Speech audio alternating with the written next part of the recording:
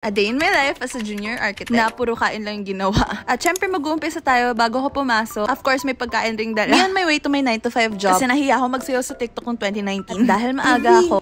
Evie! Evie!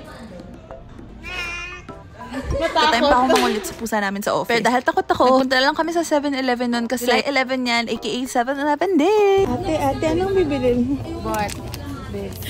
Oo. Oh, Pagsiksikan kami kahit di naman sale yung nabili namin. Pero pagkabalik ko ng office, guys naman ako nung mobile pedestal ko. Dahil sa almost 2 years ko dito, never ko pa as in na deep clean to. At habang nililinis ko siya, nakita ko yung mga dati naming scheme sa iba naming project. Tawag namin sa paper na to is copia paper or tracing paper. And usually, ito talaga yung ginagamit namin pag nagsischemes kami. And sobrang dami na pala nang nasa drawer ko. Tapos may mga sketches din ako dyan. And bubble diagram. This just shows the effort and time na pinuput in namin sa mga projects na handle namin. Pero it's time to let go. Hinapon ko na siya kasi may final scheme na rin naman kami and wala, if it doesn't spark you joy, diba? Totoo talaga, gumaang buhay. Nilinis ko yung drawer ko. Siyempre, meron tayong mobile pedestal tour. Dito sa first drawer is yung mga pen, tissue, tape, uno, extra mouse, mga notebook, memo pads, business card, markers, charger. Tapos sa second drawer naman is syempre food. And oo, wala na yung laman ngayon. Sa dulo is my bag and document. Ito na yung pagkalinis ko ng table ko and feel ko ibang tao na ako. Char. Tapos nag-product presentation, ulit kami ng light. Not sponsored pero bahan naman. Char.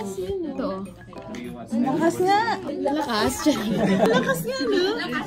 Yun ang feel ko. After ako muntik bulagin ni So, kumain na kami ng palunch ng supplier. In fairness, masarap siya. It's a 9 over 10 for me. Wow. Ito naman, ang galing ko magpanggap, char. Sketch ako dyan ng diagrams for one of our projects. Kung tatalungin niyo kung helpful yung iPad as a junior architect or an architect, yes na yes. Pero ayan, na-distract uli ako kasi may food na naman. Gulat kami kasi pati yung lalagyan ng shakies dinala. Ayan na.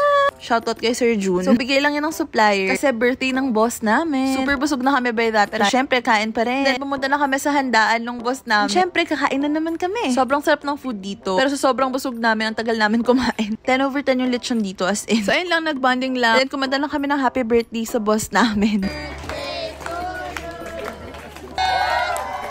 And then after nito, nagstay lang kami sa Glen. And then umuwi na rin agad kasi may pasok bukas.